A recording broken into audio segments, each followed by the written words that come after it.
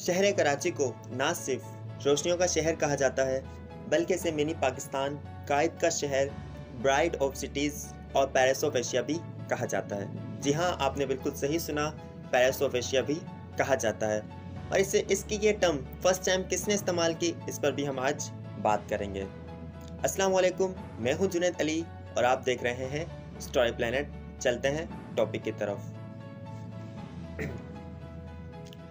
कराची जो कभी कोलाची नामी एक छोटे से फिशिंग विलेज की हैसियत रखता था।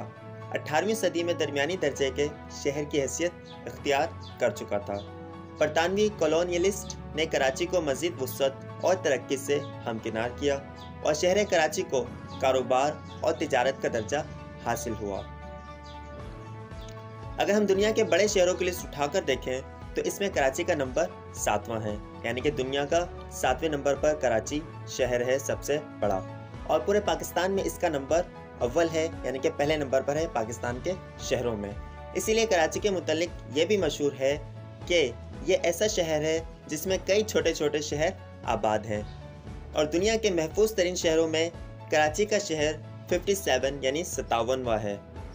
अगर हम सैर तफरी के लिए कराची का रुख करना चाहें तो ये शहर कराची आपको खुश कर देगा। यहाँ बहुत से ऐसे तफरी व सयाहती मकाम हैं, जिनके नाम अगर यहाँ गिनवाए जाएँ तो फहरस्त काफ़ी तवील बन जाएगी। तो लिहाजा उनमें से चंद एक मकाम के नाम मैं यहाँ पर आपको बताना चाहूँगा, जिसे यकीनन आप भी देखना चाहेंगे या आप में से बहुत से लोग इसे देख चुके होंगे। जिनमें क्लिफ्टन हॉक्स पे सीवियो मज़ार Quaid port grand, P A F museum maritime museum Karachi चिड़ियाघर, Karachi safari park, Charna island, Mohatta palace, Chaukhandi मज़ार, डेवल्स पॉइंट, फेरियर हॉल वगैरह शामिल है, जो वाकई देखने से ताल्लुक़ रखते हैं। अगर आप भी चाहें तो लाजमी मुझे कमेंट करके बताइएगा कि आप इनमें से कौन कौन सी जगह देख चुके हैं।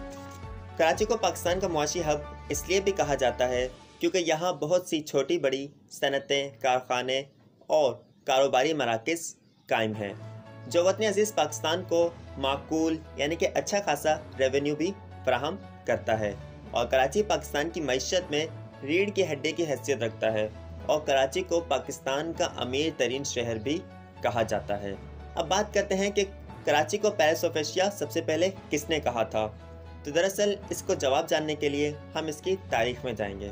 सन 1900 के इब्तदाई सालों में कराची में मुआशी तरक्की और सियासी इसकाम आने के बाद बरतानवी हुकाम और उस वक्त के मेयर कराची सेठ हरचंदारी ने कराची की खूबसूरती के लिए ब्यूटिफिकेशन प्रोजेक्ट शुरू किया था, जिस पर अमल दरामद देख कर कराची की पार्क सड़कें, रिहायशी इमारतें देख कर एक बरतानवी मुसनफ़ ने कराची को पेरिस ऑफ़ एशिया कहा था और वहीं से इस टर्म का आगाज़ हो चला था कि कराची को पेरिस ऑफ़ एशिया से तस्बी दी जाने लगी थी। अगरचे कहने को तो बहुत कुछ है, पर इस वीडियो में इतना ही। उम्मीद है आपको ये मालूमती वीडियो पसंद आई होगी। अपनी राय देने के लिए कमेंट करें। अगर आप मेरे चैनल पर नए हैं तो चैनल को सब्सक्राइब कर दें। साथ ही बेल आइकन को भी प्रेस कर दें, ताकि आपको इस तरह की मज़ीद इंटरेस्टिंग एंड इन्फॉर्मेटिव वीडियोस मिलती रहें। मिलते हैं अगली वीडियो में मज़ीद दिलचस्प मालूम के साथ। तब तक के लिए अल्लाह हाफिज़।